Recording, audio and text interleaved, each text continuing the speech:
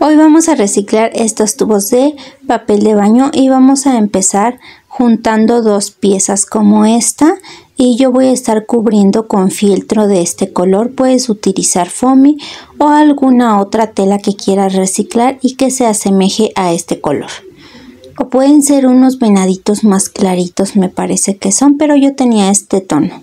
Y ahora con otro cartoncito vamos a estar haciendo lo que va a ser su sombrerito decorativo. Yo estoy recortando este cartón.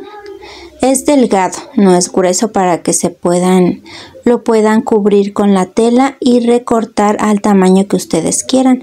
Y sigo reciclando esta faldita escolar yo estoy pegando con silicón caliente por toda la orilla para que quede bien bien pegada y a la hora de cortar la tela no se nos vaya a deshilachar y lo mismo estoy haciendo con la pieza para lo que va a ser la parte de arriba del sombrerito y ya que lo tengo así lo voy a juntar con silicón caliente y lo voy a pegar a la base de nuestro sombrerito. Recuerden que si ocupan otro tipo de material como el silicón frío tarda un poquito más, pero sí va a pegar. En esta ocasión yo estoy este, utilizando silicón caliente y aquí ya tengo mi sombrerito también cubierto por la parte de arriba y para lo que es la bufandita también estoy utilizando la misma tela. Y bueno, ahora vamos a hacer los cuernitos. Recuerden que no siempre son perfectos, así que yo solamente marqué estas formitas y ya. Claro, pueden ser más largas, me pareció que se las podría hacer más grandes, pero las dejé de ese tamaño, igual se ve bonito. Y voy a seguir reciclando con esta tira de tela en color blanco.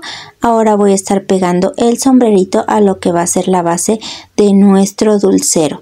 Pueden utilizarlo como un dulcero o como una cajita de regalo o como una simple decoración para lo que son sus orejitas recorté dos piezas en fieltro como si fueran dos petalitos y los pegué de esta manera. Ahora voy a estar haciendo lo que es su carita y yo le hice la nariz con foamy diamantado en color rojo Vamos a pegar lo que va a ser la bufandita. Yo utilicé silicón caliente para que no se mueva. Y ahora los ojitos los hice con foamy en color blanco y marcador negro. Ah, estaba pensando en las estampitas de ojos. También quedan muy bonitas. Y no tengo ahora que vaya al centro. Voy a comprar de esas estampitas porque siento que quedarían mucho mejor esos ojitos que estos porque no me gustan mucho como quedan. Mm, siento que no me quedan muy bonitos.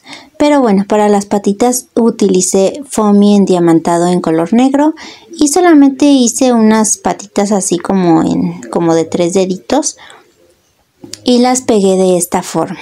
Ya solamente nos queda rellenar nuestro dulcerito o tu cajita de regalo o tu decoración. Si la quieres para decoración solamente la puedes dejar así, ponerla al lado de tu televisor, en tu mesa donde va a estar tu arbolito.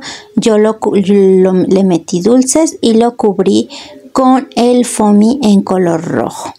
Y bueno, así ya nada más me toca recortar la parte de abajo y así es como me ha quedado este bonito dulcero o decoración navideña. Me parece que los ojitos no le hacen, no lo hacen ver tan, tan, tan como me lo imaginé. Pero me gustó. Igual queda muy bonito, pueden solamente cambiarle los ojitos o alguna otra tela o hacerlo en, en otro color el venadito.